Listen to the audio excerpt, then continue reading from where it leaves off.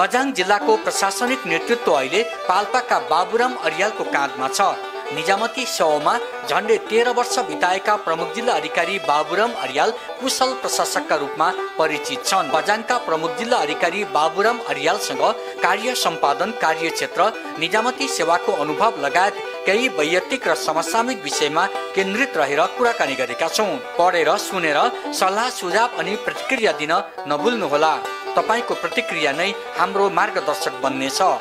प्रज्ञसँग शम्भुको यो एकाउन्नौ अङ्कमा हामी प्रस्तुत गर्दैछौँ बजाङका प्रमुख जिल्ला अधिकारी बाबुराम अरियालसँगको कुराकानी।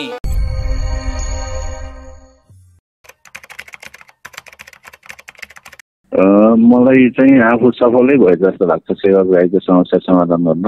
एक आध केही पर्सेन्टहरू अब त्यो त भइहाल्छ होइन साइन्सले पनि भन्ने कुरा नै हो।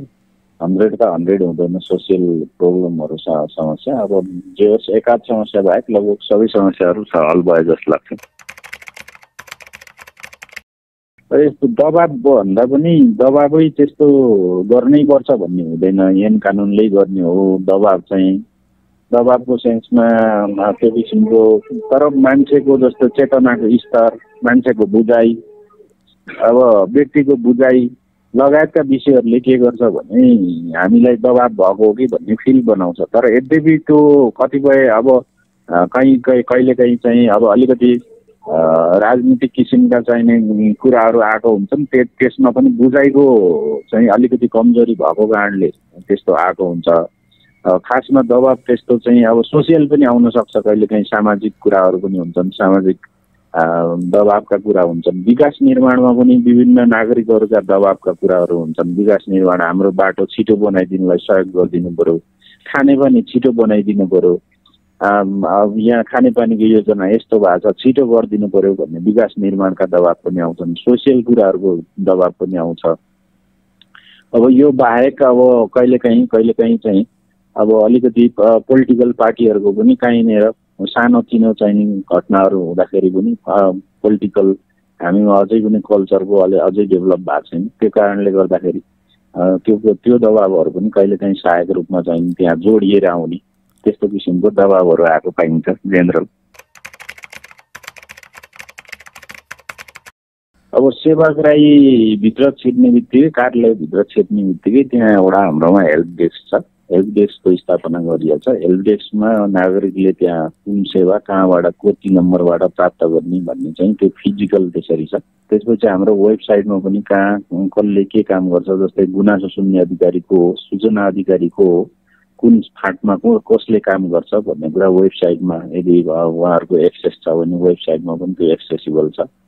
जिल्ला प्रशासन कार्यालयले गर्ने सूचनादेखि लिएर गएर फेसबुक पेजदेखि लिएर गएर सबै पेजमा अनलाइनमा पनि जिल्ला प्रशासन कार्यालय सक्रिय नै छ। सूचनादेखि लिएर गएर सबै कुराहरू त्यहाँ पनि त्यहाँ त्यो सो मार्फत पनि हामीले सेवाग्राहीलाई जानकारी गराइएको छ। यहाँ आइसकेपछि व्यक्तिले कहीँनिर पनि समस्या भोग्नु नपरोस् भनेर हेल्प डेस्कको स्थापनादेखि लिएर गएर त्यो किसिमको संयन्त्र इस्टाब्लिस गरिएको छ। त्योभन्दा माथि व्यक्तिको गुनासा हुन सक्छन् सेवाग्राहीको गुनासा हुन सक्छन्। गुनासो सुन्नको लागि सामान्यतया गुनासो सुन्नको लागि चाहिँ प्रमुख जिल्ला अधिकारीले आफैले गुनासो सुन्ने व्यवस्था पनि गरिएको छ। कर्मचारी प्रतिको गुनासो। त्यति मात्रै आफ्नो कार्यालयको नभएर जिल्ला स्थित सम्पूर्ण कार्यालयहरूको गुनासो कहीँनिर केही गुनासो छ भने त्यो गुनासो पनि प्रमुख जिल्लाधिकारीले सुन्ने संयन्त्र त्यही मार्फत हाम्रो यो प्रमुख जिल्लाधिकारीको फोन चौबिसै घन्टा यो फोन चाहिँ खुल्ला नै छ। त्यो बाहेक अब हाम्रो इमेलमा उहाँहरूले गुनासो पठाउन सक्नुहुन्छ। त्यो बाहेक पनि चिठी पत्र निवेदनमा पनि पठाउन सक्नुहुन्छ। हरेक संयन्त्रहरू चाहिँ ओपन राखिएको छ। हरेक कुराहरूलाई चाहिँ ओपन राखिएको छ। नागरिकले भर्सक काहीँनिर सेवामा जिल्ला प्रशासन कार्यालय मात्रै नभएर सबै कार्यालयहरूबाट पाउने सेवा सुविधालाई चाहिँ सहज होस् भनेर सूचनाको डिस्क्लोजर गर्नको लागि प्रोएक्टिभ डिस्क्लोजरको यहाँबाट म आइसकेपछि पनि सबै सूचना अधिकारीहरूको बैठक बसेर तपाईँहरूको वार्षिक अर्धवार्षिक चौमासिक रिपोर्टहरू वेबसाइट मार्फत या सार्वजनिकरण गर्ने भन्ने व्यवस्था गरिएको छ त्यो निर्णय पनि गरिएको छ। यी लगायतका संयन्त्रहरू चाहिँ सेवा प्रवाहमा सहजता ल्याउनको लागि जिल्लाभरि चाहिँ व्यवस्था गरिएको छ। अब यो सुरुमा मेरो आफ्नो मोटिभेसन भनेको आफूले अफिसमा देखेको देख्दाखेरि यहाँ आफूले नागरिकता लिँदाखेरि आफैले आफैले जनदर्तामा त हामी अलिक सानै गइयो तर नागरिकता लिने बेलामा चिडियो कार्यालय जाने बेलामा आफूले अलिकति त्यो ए यो त जागिर खान पर्ने रहेछ यत्रो नागरिकतामा साइन गर्ने भइँदैछ यस्तो भइँदैछ यत्रो ठुलो भइँदैछ भन्ने कुराले अलिक धेरै इन्फ्लुएन्स गर्यो। खास त म अलिक टिचर हुने हिसाबले मैले त्यस्तो पढाए हो मेरो व्यक्तिगत कुरा गर्ने हो भने। मैले अब टिचर हुनुपर्छ गाउँमा धेरै मान्छे देखेको टिचर हुनुपर्छ भन्ने सेन्समा लागेको मान्छे। तर पछि त्यो हेर्दै जाँदाखेरि चाहिँ सेवा गर्नु भनेको चाहिँ यो टिचरले पढाउने मात्रै हुँदैछ यो निजामती सेवा ब्रोड सेक्टर भएको जब जहाँ पनि काम गर्न पाइने सबै सेक्टरमा काम गर्न पाइने विभिन्न मन्त्रालयहरूमा रहेर विभिन्न जिल्ला स्थित कार्यालयहरूमा रहेर काम गर्न पाइने भन्ने कुराले नै मलाई धेरै इन्फ्लुएन्स गरे हो। त्यो अरू घरको पारिवारिक हिसाबले हेर्ने हो भने मेरो बुवा आमा सबै कृषक नै हुनुहुन्छ। त्यो हिसाबले चाहिँ भन्दा पनि बाहिर आफू निस्किसकेपछि ए यस्तो रहेछ भन्ने सेन्समा अलिकति बुझिसकेपछि मात्रै मलाई निजामती आकर्षण भएको भन्ने लाग्छ मलाई चाहिँ। निजामती सेवाप्रति आकर्षकै छ लोकसेवाका विज्ञापनहरूले हेर्ने हो भने एउटै विज्ञापनमा सयौँका चाहिँ एप्लिकेसन परेको अर्थमा र त्यहाँको कम्पिटिसनको प्रतिस्पर्धाको आधार हेर्ने हो भने निजामती सेवा अहिले पनि आकर्षकको केन्द्रबिन्दुमै छ। यसको एउटा मुख्य कारण भनेको सरकारको बाहेक अरू रोजगारीका सेक्टरहरू हामीसँग अलिक कम भएको कारणले गर्दा नै हुनसक्छ। यद्यपि निजामती सेवामा आकर्षण छैन भन्ने होइन आकर्षण हुँदा हुँदै पनि कतिपय कुराहरू अझै हामीले पोजिटिभ रिक्रुटमेन्ट सिस्टम भन्छ अब सकारात्मक चाहिने हामीले भर्ना प्रणालीलाई अझै पनि अवलम्बन गर्न सकेको छैनौँ। यद्यपि हामी सकारात्मक भर्ना प्रणालीका केही सिस्टमहरू जस्तो ओपन गर्ने अहिले अब सामाजिक सञ्जालले जहाँ चाहिँ कहाँ जागिर खुल्यो के खुल्यो भन्ने कुरा सामाजिक सञ्जाल मार्फत चाहिँ धेरै सञ्जालीकृत भइरहेको नेटवर्किङ भइरहेको देखिन्छ। यद्यपि निजामती सेवामा अझै पनि आकर्षण चाहिने त्यति घटेको चाहिँ देखिँदैन। अब हाम्रो ब्रेन ड्रेन यसको रोजगारीको समस्याको कारणले गर्दाखेरि वर्षौँ पढेर पनि फेरि सक्सेस भइने हो कि होइन भन्ने एउटा रिस्कको जुन फ्याक्टर छ। रिस्कको फ्याक्टरको कारणले गर्दाखेरि पनि कतिपय मान्छेहरू फेरि यतातिर लाग्नुभन्दा अलिकति प्लस टू पास गरिसकेपछि फेरि विदेशतिर लाग्नै झन् बेटर हुन्छ भन्ने सेन्सले त्यतातिर लागेको चाहिँ देखिन्छ। यद्यपि अझै पनि आकर्षण चाहिँ कमजोर भएको हो कि भन्ने जस्तो चाहिँ मलाई लाग्छ अब सङ्घीयता भनेको एउटा सिस्टम हो। अब यो सङ्घीयतामा अब जुन हाम्रो शासन पद्धति छ गभर्नेन्सको सिस्टम हो त्यो गभर्नेन्स सिस्टम चाहिँ फेडरल सिस्टममा गइसकेपछि फेडरल सिस्टमको मुख्य आधार भनेको प्रिन्सिपल अफ सब्सिडियरिटी हो। त्यो भनेको सरकार नजिक पुग्ने हो। सरकार नजिक पुगेको छ। तिन तहको सरकारले आफ्नो आफ्नो प्रकारका संविधानमा उल्लेख भए अनुसारको सेवाहरू प्रदान गर्दै आएको छ। अब खास गरेर पहिला सामान्य कुराहरूमा सामान्य केही कुराहरूमा पनि स्थानीय लेभलबाट भन्दा पनि त्यही कुरालाई माथिसम्म जानुपर्ने माथिसम्म सङ्घसम्म पुग्नुपर्ने जुन हाम्रो व्यवस्था थियो त्यसलाई चाहिँ अलिकति हाम्रो संविधानले नै त्यसको स्थानीय तहको अधिकार पुतायोजन गरेर संविधानबाट नै चाहिँ मिश्रित अधिकारहरू चाहिँ स्थानीय तहहरूले प्रयोग गरिरहेको छ अवस्था छ। विकास निर्माण नीति योजना बनाउनुदेखि लिएर गएर सम्पूर्ण काम चाहिँ स्थानीय लेभलमा स्थानीय तहको काम स्थानीय आवश्यकता स्थानीय जनताको माग स्थानीय जनताको आवश्यकता।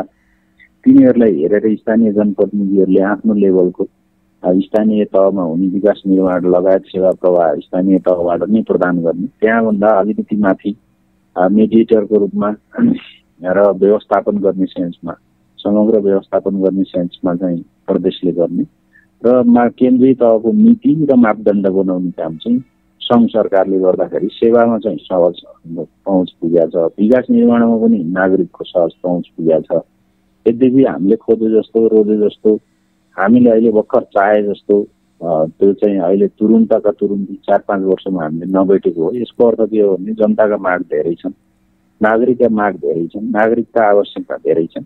ती डिमान्डहरूलाई फुलफिल गर्न हाम्रो विभिन्न स्रोतहरू रिसोर्सहरू हुन्छ। ती सबै रिसोर्सहरू फुलफिल भएको अवस्था पनि छैन। ह्युमन रिसोर्सको कुरा इकोनोमिक रिसोर्सको कुरा होला आइटीको कुरा होला विभिन्न लगायत सेक्टरहरू चाहिँ अझैदेखि फुलफिल नभएको कारणले गर्दाखेरि हामीलाई कहीँ कतै कहिले काहीँ त्यस्तो भएको हुनसक्छ। तर हामी चाहिँ त्यो प्रोसेसमा चाहिँ छौँ भन्ने जस्तो मलाई लाग्छ। र यसले गर्दाखेरि के धेरै नै यो सिस्टमले गभर्नेन्स सिस्टम आफैमा फेलियर होइन कि हाम्रा एक्सपेक्टेसन धेरै भएको कारणले गर्दाखेरि त्यो जनताका माग तुरुन्त तुरुन्ती पुरा नभएका देखिएका होला यद्यपि अब रिसोर्स फुलफिल हुँदै जाँदा यो फुलफिल हुन्छ।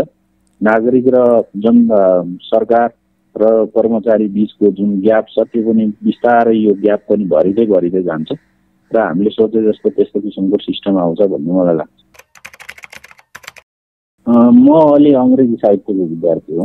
अब अङ्ग्रेजी साहित्यका केही किताबहरू अलिक पुराना जस्तो वार एन्ड पिसहरू यस्ता यस्ता पुस्तकहरू कहीँ केही फिलोसफिकल अलि अङ्ग्रेजी साहित्यको विद्यार्थी भयो त्यो किताबहरू पनि पढ्छु पछिल्लो समयमा राजनीति शास्त्र र ग्रामीण विकास पनि पढेको हुनाले डेभलपमेन्टका पुस्तकहरू पनि केही हेरिरहेको हुन्छ केही चाहिँ अब राजनीतिक दर्शन र राजनीतिक अब ठुल्ठुला राजनीतिक चाहिँ शास्त्रीहरूका पोलिटिकल लिडरहरूका पोलिटिकल थटहरू पनि पढिरहेको हुन्छु।